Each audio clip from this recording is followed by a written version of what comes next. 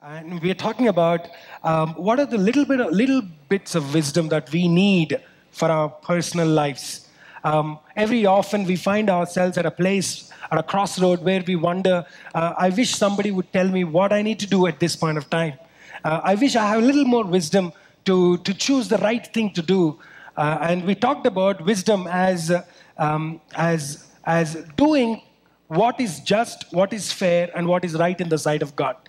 Um, while knowledge is information acquired, wisdom is application of that knowledge into our personal lives in, in a just manner, in a right manner, um, in a fair manner in the sight of God. And only God can give us this wisdom. And that's how we started off week one.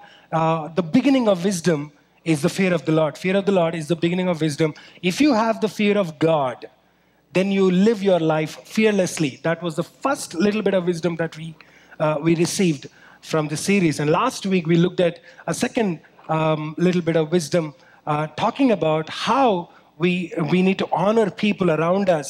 Um, honoring, adding value to people brings value back to us. If you learn to honor your parents, if you learn to honor elders, because I think somehow in our culture, honor culture is going down um, we need to teach our younger generation that we need to honor parents, and honoring begins within home. And as you begin to honor people, it brings back to you, a benefit comes back to you, it adds value to your life.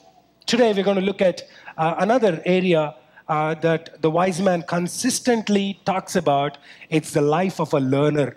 Uh, how important a life of a learner is. We're going to talk about that. Um, I'm sure you would have read Proverbs chapter 4 uh, this morning during the worship time.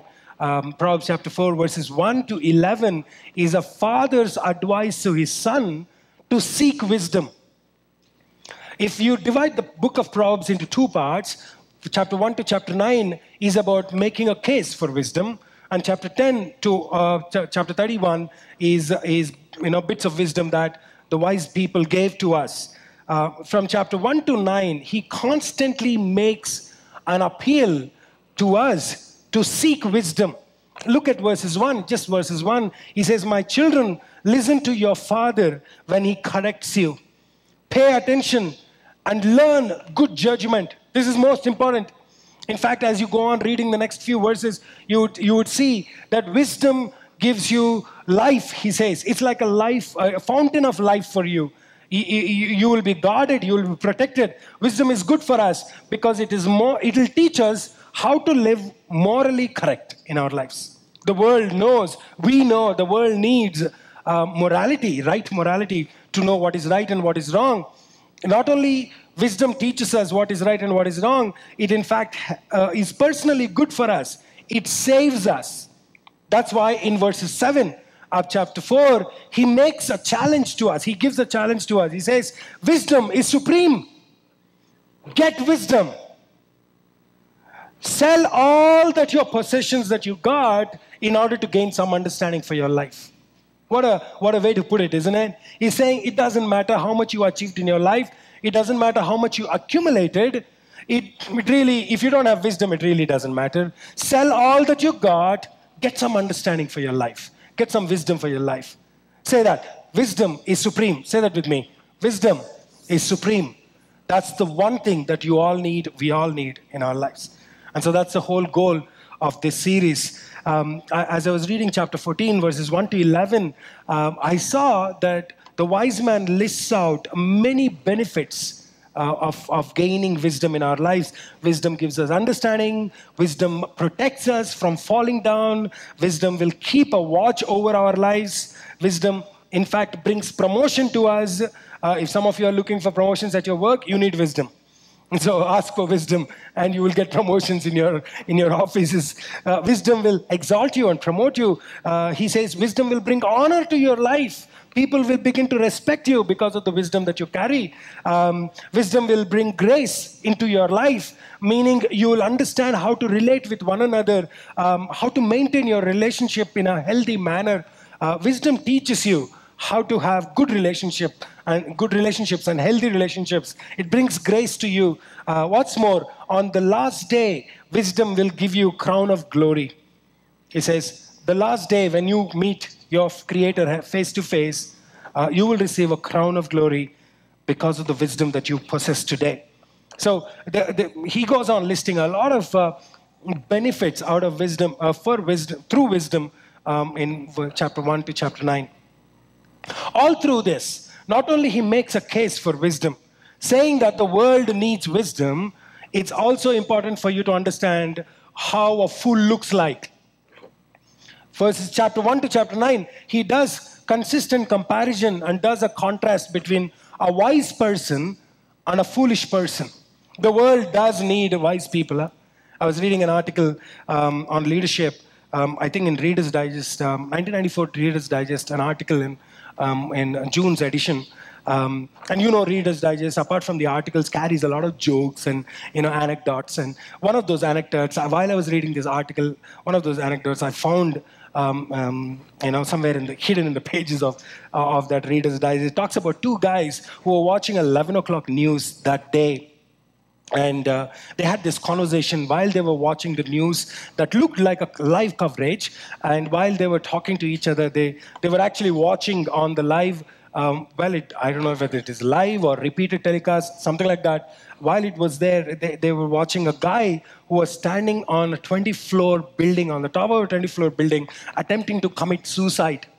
So there he was, man on the ledge, um, you know, waiting to jump off, and all these TV screens are filled with this guy there, and um, the cameras covering, and all this. These two guys laid back on their sofas are talking to each other, and one of them turned to the other guy and said, I, will bet this guy will not jump. I'll bet $20 this, this guy will not jump. The other guy looked at him and smugly smiled and said, um, All right, let's take the bet. And as they kept watching, in few minutes, few minutes later, that guy did jump off the 20th floor building and, and died. And um, the guy who bet the, in the first place was looked disappointed. He pulled out the $20 bill and he was about to give, to the, give it to his friend with whom he bet. The friend looked at him and smiled and said, Well, I really can't accept that. You know, he said that sheepishly and said, um, Actually, I watched the 6 o'clock news. This was the 6 o'clock news. The other guy, without battling his eyelids, looked at him and said, I also watched the six o'clock news. I thought this time he won't jump. Uh, some of you will take some time. Reach there, take time. The world needs people with wisdom, a little bit of wisdom, right? The thing is, we, we, we may not be like this guy, but at least we are like that in one sense that we don't really learn from our mistakes. We are not constant, consistent learners. That's one of the reasons why we get stuck in one place and never grow to where we aspire to be. And so the wise man constantly gives us this call hey, develop a life of learning. Because fools don't learn what they do is just talk. So let me just divide the entire sermon into three parts and then leave you with a little bit of wisdom that you need for today. Um, the, when he talks about fools, he always he, he says, foolish, just talk. That's all they do. Their talk revolves around three things. Number one, I know it all. If you don't know, if you don't have notes, just have to lift your hands, we'll get you the notes. If you have the notes, you may want to write down. The one thing that fools always say is this I know. You don't have to tell me. I already know this. They, they, they behave as if they know it all. They talk as if they know it all. That's why their ears are never open to receive any wisdom at all. Proverbs chapter 10, verses 8 says this The wise are glad to be instructed, but the babbling fools fall on their faces. One of the reasons why we usually fall flat on our faces is because we are talking rather than listening.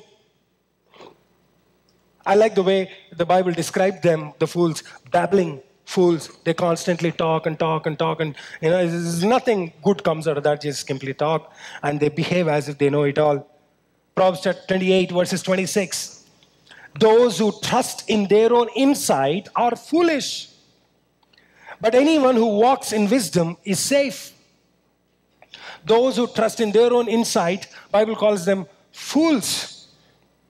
Here, here is the problem when a person thinks that he knows everything that there is to know, he is in the path of self destruction. Remember that. If you are a person who thinks you don't have to tell me anything, I already know everything, you are in the path of self destruction. It's a very simple thing. You are in the path of self destruction because of few reasons. I'll give you three reasons. It's not in your notes, you want to write down. Write it down. It blinds you from all truths. Once you think you know everything, you can't see new truth because you're blind now. Your perception of yourself as the smartest man on the earth keeps you from learning anything at all. So there are no truths, no new truths. In fact, it begins to affect you, it blinds you, and then it stunts your personal growth. That's the second problem. You don't grow, you get, you, you, get, you, you get to stay at the same place. Worst case, you'll actually go down instead of growing up. Why don't we grow personally? That's because we keep making the same mistakes again and again. Since we stopped learning, there are no new insights to gain, no new truths to be told to us. We stay in the same place, well, we keep making the same mistakes again and again. If you are one of those who are constantly failing at the same thing again and again, chances are you are not learning. The Bible calls you a fool. Could be possible that you are allowing your pride, which says, I know it all, you don't have to tell me anything, stop you from growing. The most damaging aspect of a I know it all attitude is this that it strains relationships with others. I mean, who would want to be around a guy who's always behaving as if I know it all, you don't have to tell me anything? I mean, there is no healthy relationship, right? You can't have a healthy relationship with those people. A few days ago, I was talking in plugin, I was talking about the four negative things that will destroy healthy relationships um, from uh, Philippians chapter 2, I think, chapter 2. Uh, I was talking about um, how Paul lists down four things, four negative things that will destroy a relationship. One of them is self importance. When you begin to think that you are the guy you start destroying relationship there is no there is no depth in those kind of relationships. It's hollow it's shallow. At best it's just knee deep that's it.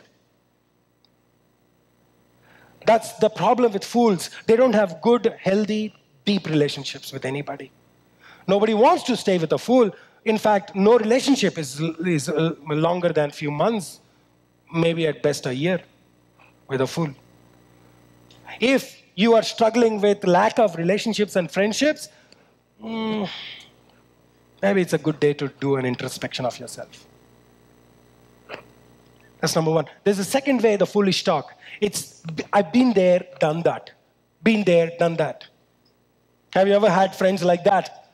That you are so excited about the new achievement that you have done. The, imagine the first time you played cricket and you really played well on that day, and then you kind of hit a six, and maybe a 50 and things like that, and you want to talk to your friend and tell your friend, uh, well, if he's your friend, uh, tell him that, you know, this is what I've achieved today. And then he would say, that's nothing, I've already done that.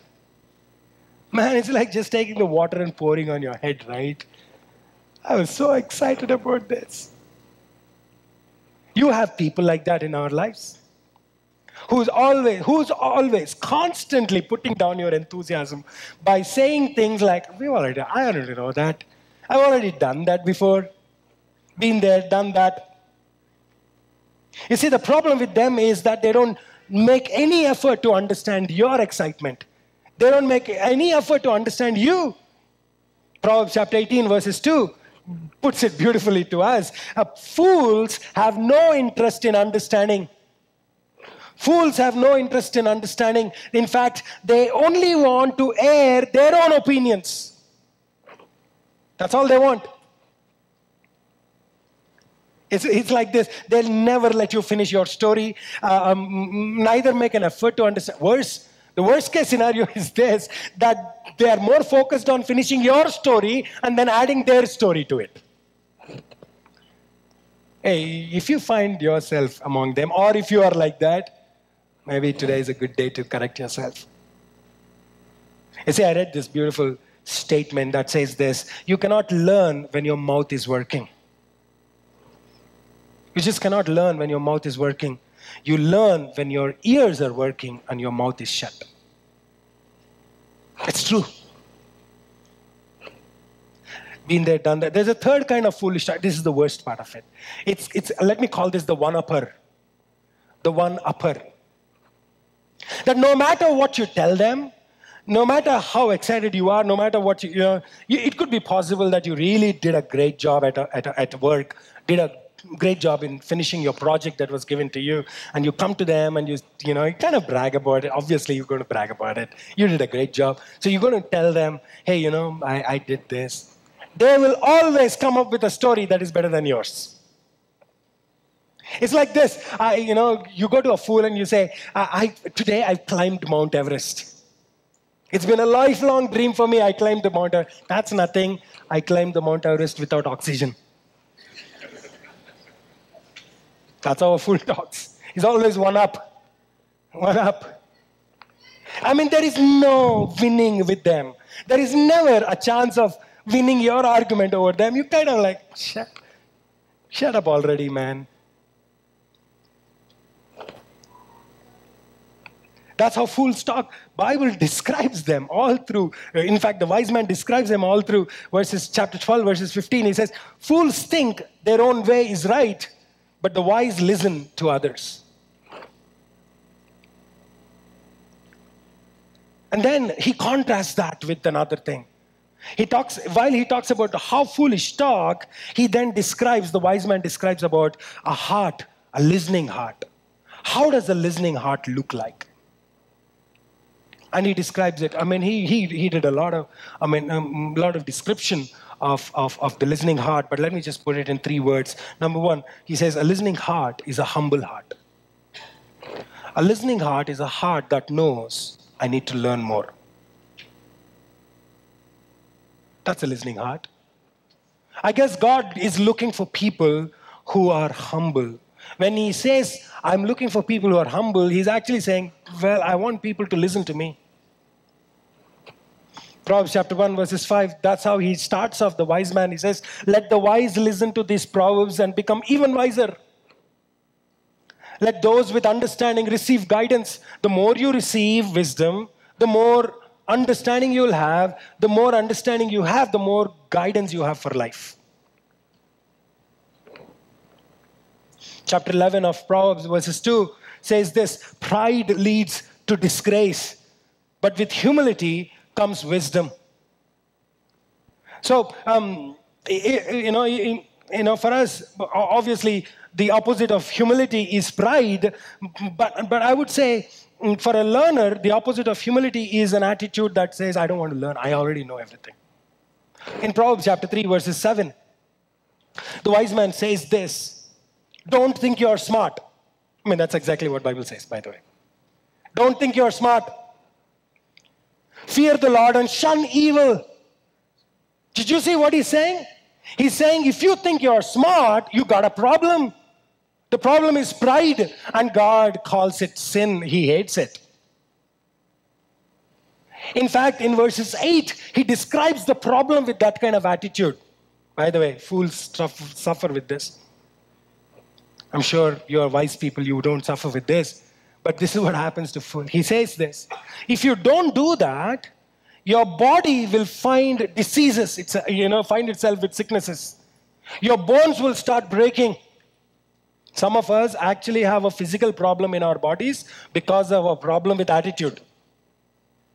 I would say 90% of us. Not some, but 90%. Very few of us are Jobs, by the way.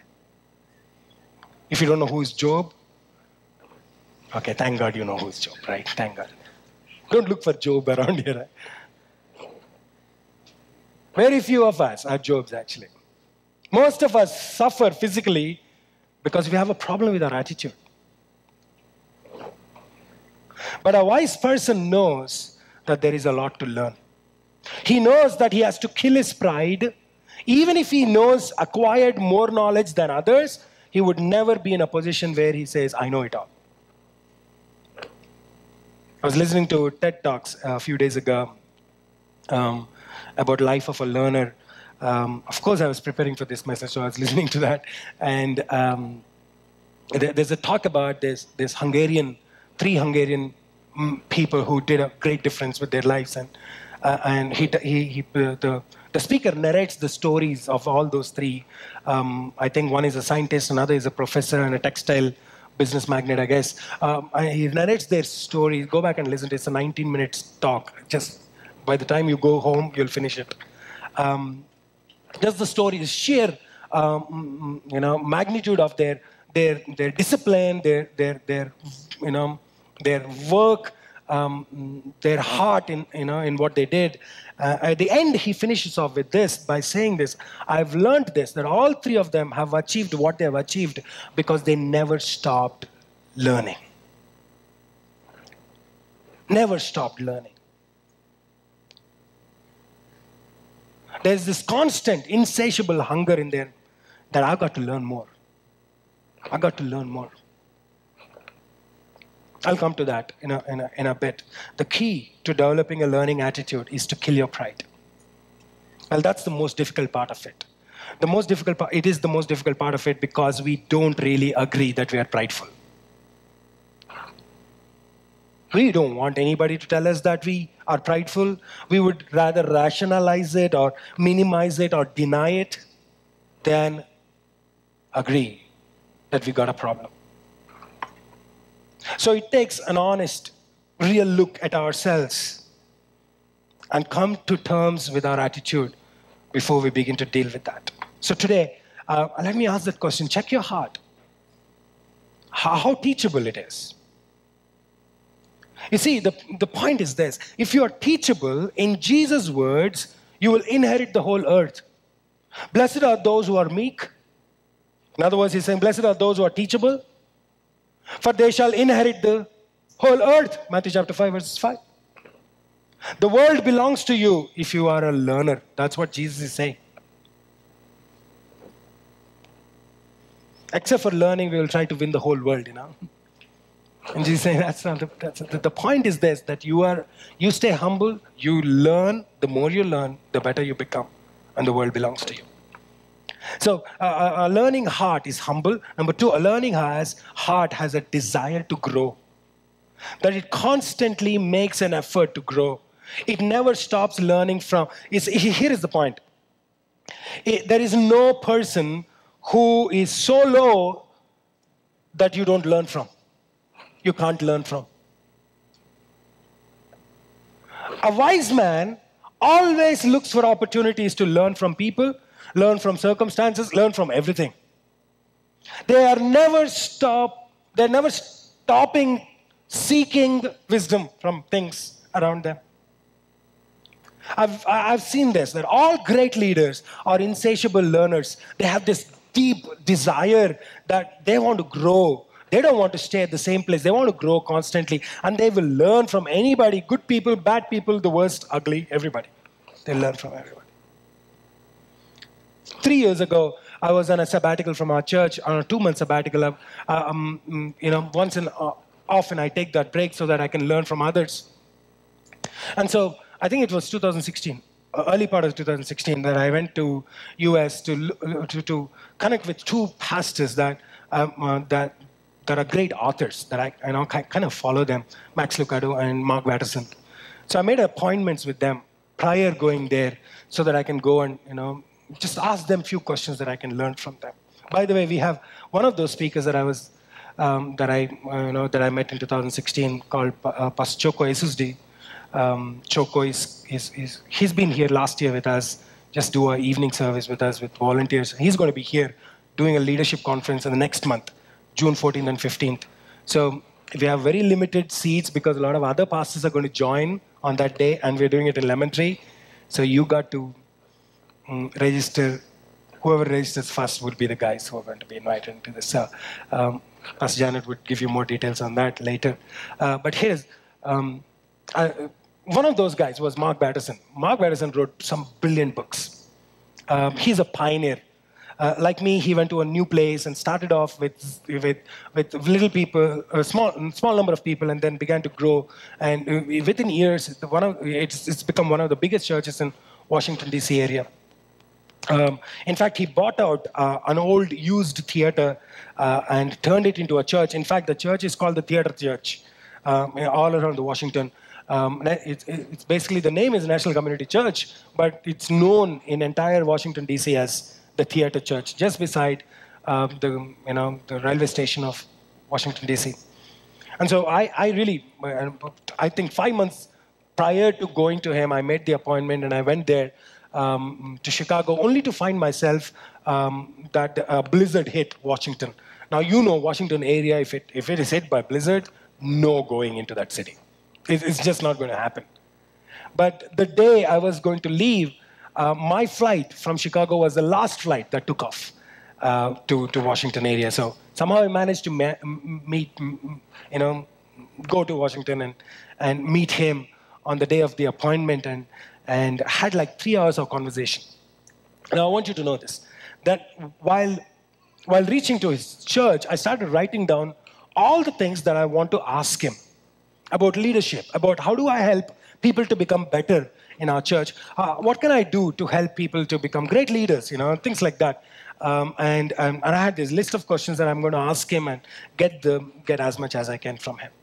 And I walked into his office. It's a small office, almost like a matchbox. It's, it's probably by 10 by 10, this, this, this big. That's it. It's a small room. Walked into that room only to find uh, that this guy had just two chairs surrounded by books. I mean, it's just books. Huh? I walked in, and all I could see is just books. I mean, from down all the way up, there's no ceiling. I can't see a ceiling there. Just books, staked up. Here is the interesting part. His coffee table was books. All of them were books right in front. So we, I was sitting on the other side. He said, "Hey, there's no coffee table. Just get grab your coffee, and you can put it on the on, on this books." So those are the books that he's reading at the present, right? So it's a coffee table. And I started. I took out my notepad and, I, I, am going to ask this question. And just as I opened my mouth, he said, "Hey, thanks for coming." I said, "Thank you. Thank you for giving me opportunity to talk to you." I said, I have a question to you. This is what he's asking me, okay? I have a question, okay? Shoot off.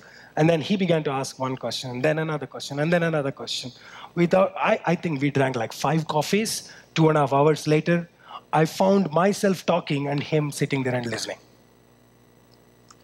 All the while asking me the questions. When I am the guy who's supposed to interview him.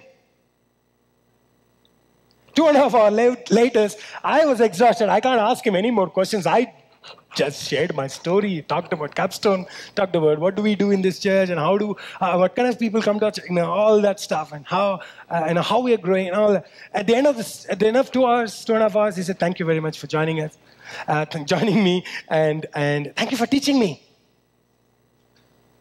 Really, he gave a book called Chase the Lion to me, signed and gave to me, and he said, thank you for teaching me whatever you taught me today, why don't you write a book? That's all he said. And then I walked away from there uh, completely dazed, sat in the train on the way to Baltimore because I was flying out of Baltimore. I was sitting in the train and, and I'm thinking, what, what happened? And that's when it dawned on to me that in the process of talking to me, while making me talk, he taught me the most important lesson of a leader listen the more you listen, the better you become. That's probably why he's what he is. He's, he's probably going to be the, the, the you know, world AG superintendent a few years from now. He's one of those guys. Brilliant.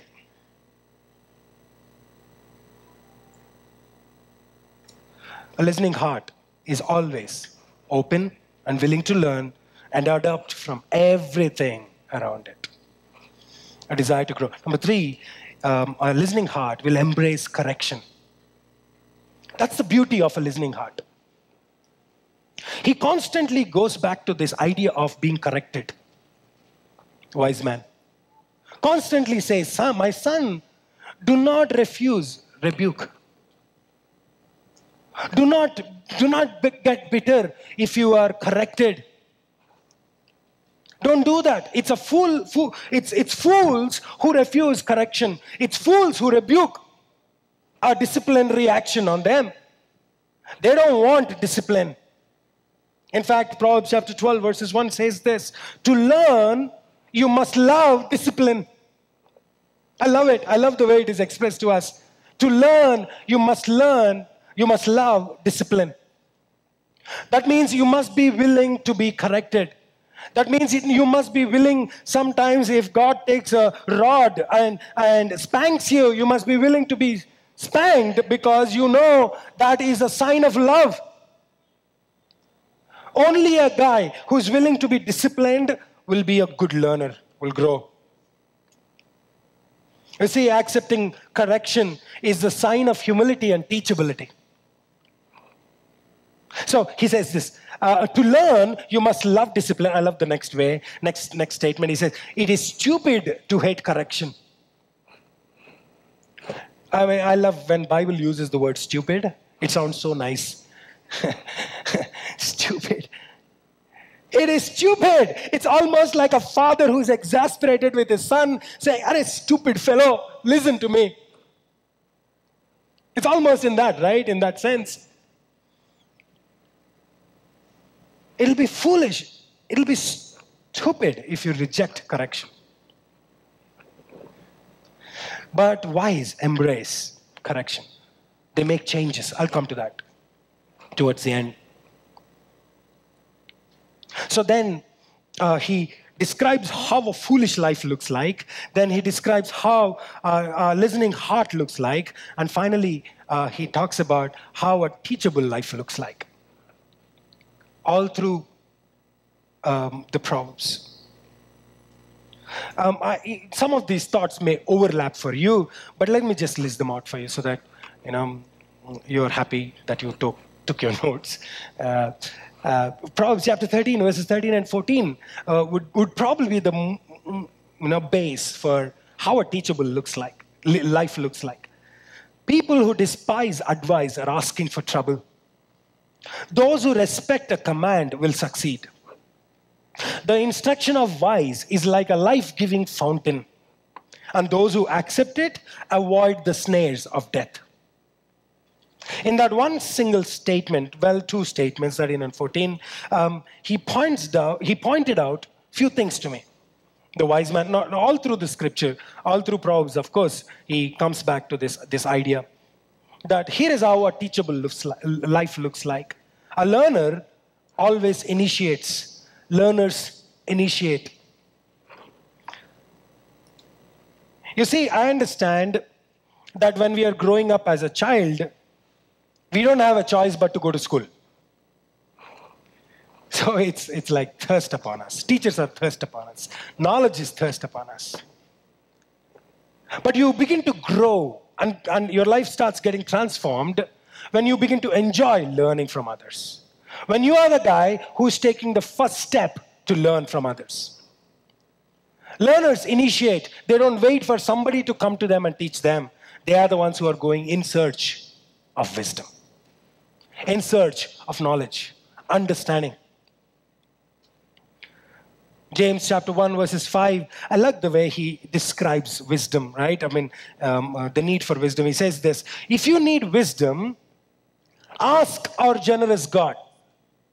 Wait a second, let's just rewind that. If you need wisdom, ask our generous God.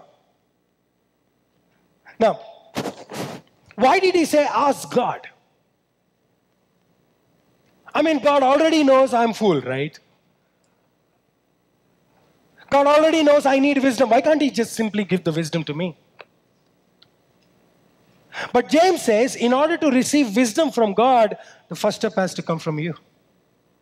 You. So here is the problem with, um,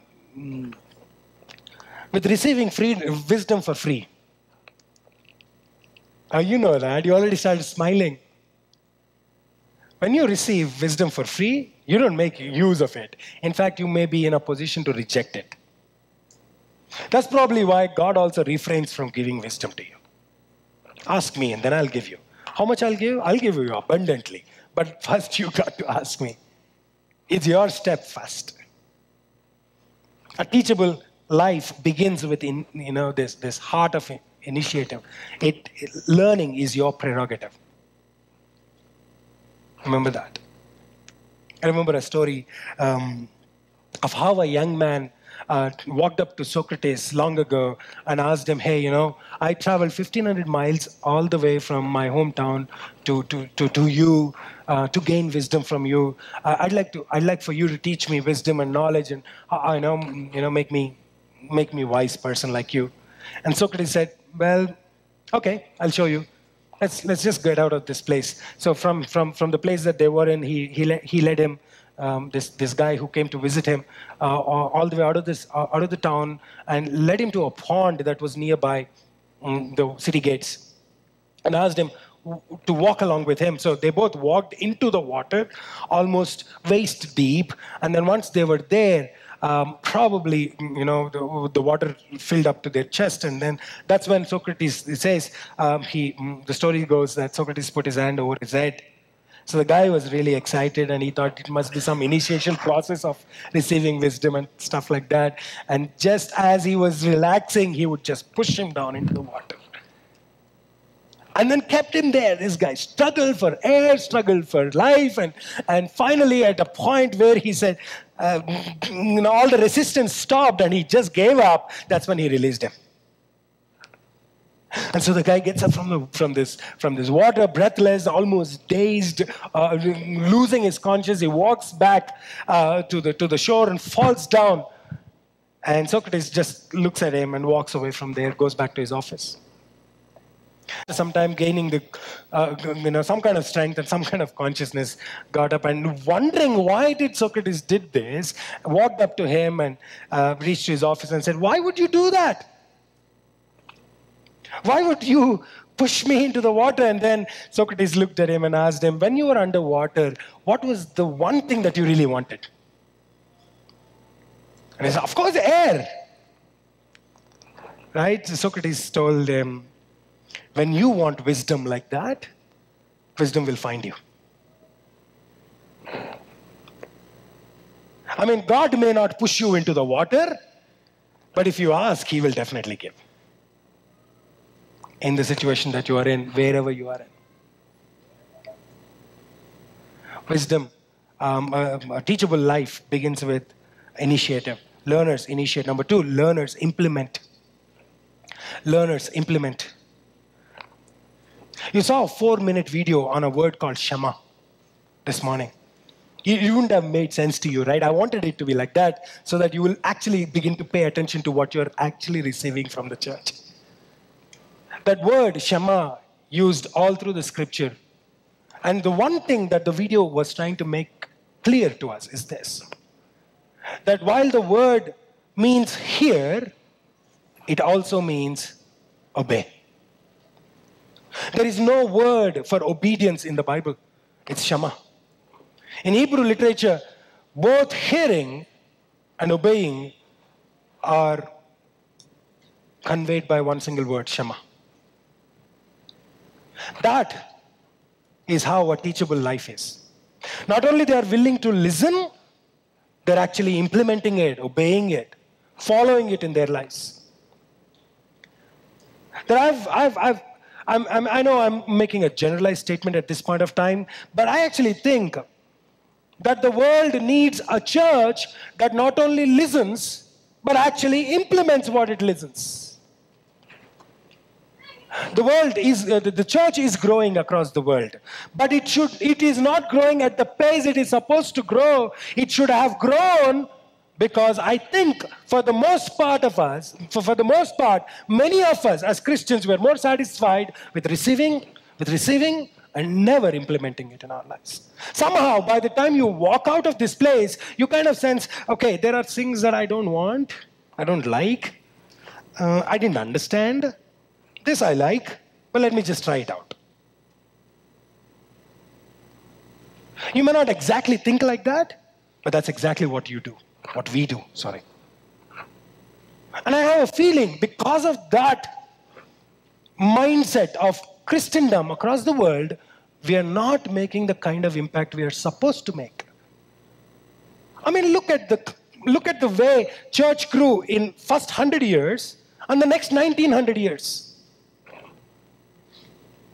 if you even if you do a comparison of both those that 100 years and this 1900 years that first hundred years would be like, like way ahead of us in the way it grew, in the passion that people had, in the way people believed that Jesus is going to come back. So I'm going to make sure I live my life in such a way that I would show people what I believe is true.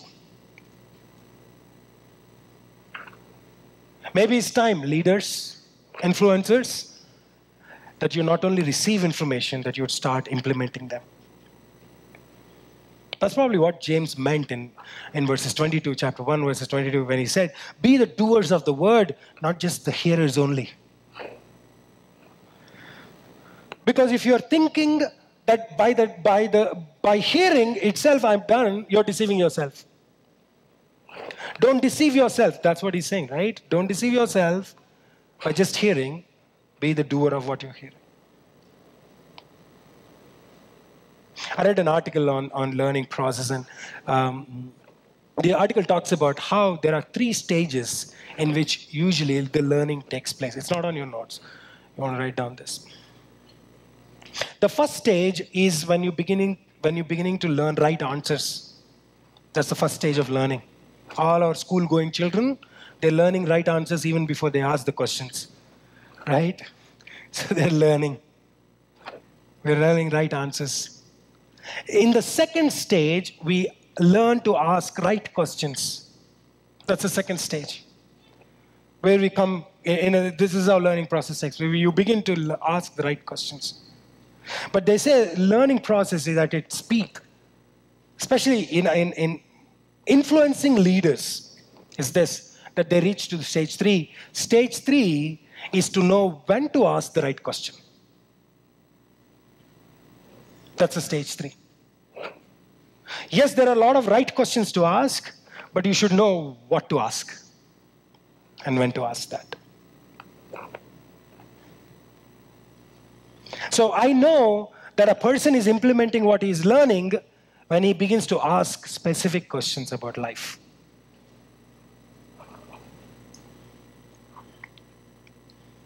Number three, learners improve. That's the third thing. Learners improve. That they're constantly growing. I talked about that um, before too, so I'm, I'm not going to dwell much on that. But I just want to remind you of a, of a myth that I talked about to you uh, two years ago how um, our, the growth in our lives gets stunted because of a myth. It's called the knowledge myth. The knowledge myth is this that since I know better, I can do better. That's the knowledge myth. I talked about this on the 2017 31st night, right?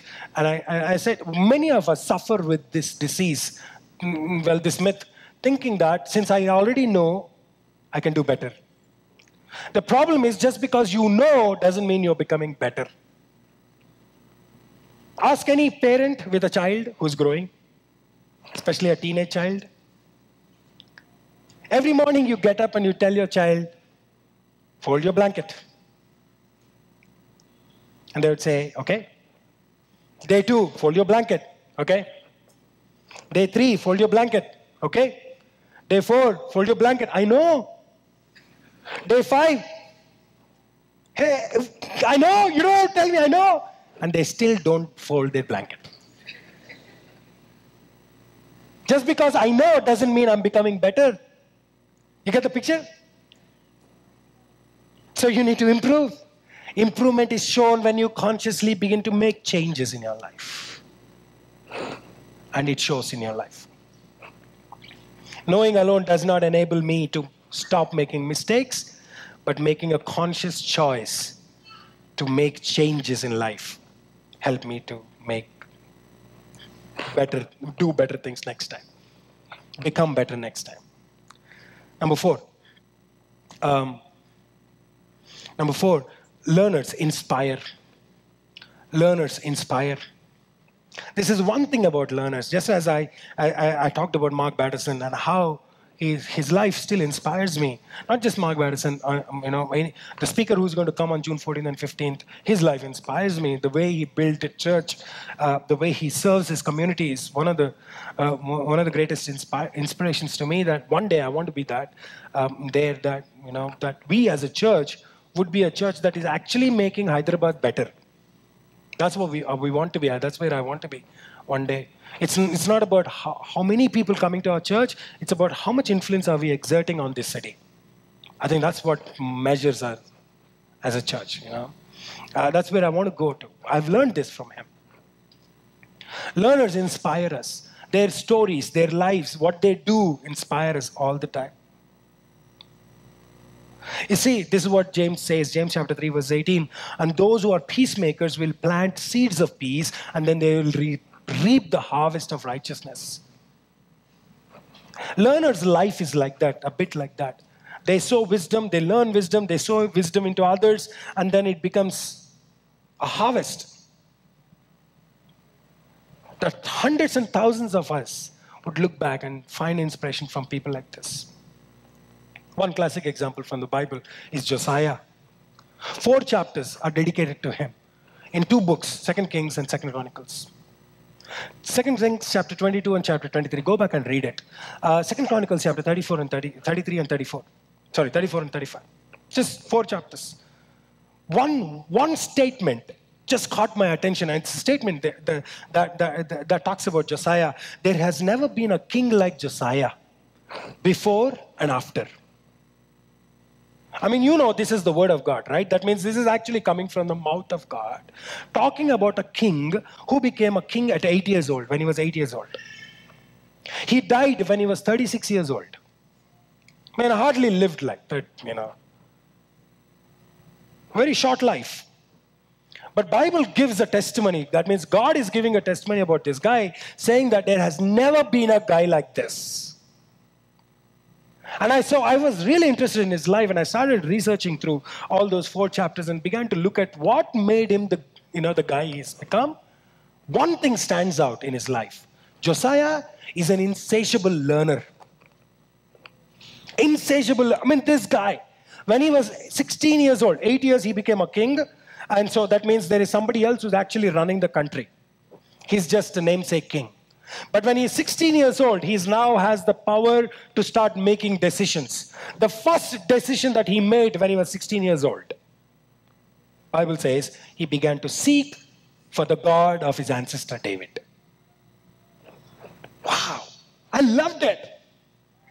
He's not looking for doctorates and degrees, he's actually looking for God. I mean, I'm not saying don't, don't study. I know it's you guys are here. I'm not talking about that. I'm, I'm just saying, you know, the point is this that the first thing that he decided with the freedom that he's got is to find his God. He sought after his God, and because he looked for his God, God began to reveal himself to him. And he corrected himself, he corrected the country around him, uh, um, and he began to clean the temple. And Bible says, as he began to clean the temple, he found the word of God. When he received the word of God, he didn't just uh, you know, clean it up and a nice looking Bible and put it in the showcase. He said, I want to read it. I want to know what it says. And as he began to read it, it started changing his life. He wants to have more understanding, so he looked for more prophets, people who can explain that to him. And he found a prophetess called Huldah and, and sent and asked for her, and, and she explained what the scripture means to him. And the more he learned, the more he realized he needs to change, his country needs to change. So he makes a vow that I'm going to live according to the word of God and obey it as long as I live. And then he calls for the entire nation together into Jerusalem. And here is what he does he makes everybody read the Bible. Everybody. And he explains the scriptures to them. Of course, through the scribes and lawmakers and then here is the beautiful thing. He made everybody make a commitment that they will obey the word of God, just like how he did it. And the way his story ends, I love the way his story ends. It says this that as long as Josiah lived, the people of Israel followed God. As long as Josiah lived, entire nation followed God, obeyed God. What an inspiration, huh? So, as long as you live, hopefully your entire family follows you, follows God. I think that would be a great achievement for many of us. Let's start there. As long as you live, make that your goal that as long as I live, I want my family to follow God. Learners inspire others. Just because Josiah chose to learn to follow, he became great. And that's where he left this little bit of wisdom for us. This is what it means. It is for today. The habit of a teachable spirit produces a life of consistent wisdom. The habit of a teachable spirit produces a life of consistent wisdom. You want consistent wisdom? Be teachable always. And you'll keep receiving bits and pieces of wisdom from all over to you. You see, if you want to be fruitful, you must become teachable. That's the point of today. If you want to be fruitful, you need to be teachable. Let's close our eyes. It's a very simple lesson, right? Something that we already know, but yet something that we need to be reminded of constantly. And I'm glad today you chose, you were willing to receive it. If you are willing to receive the wisdom that God constantly is pouring into your life, be grateful for it. Make a commitment to, you know, to accept discipline in your life. That when God corrects you, accept it, make corrections. Develop, um, develop a healthy habit of learning constantly. That's how a teachable life looks like.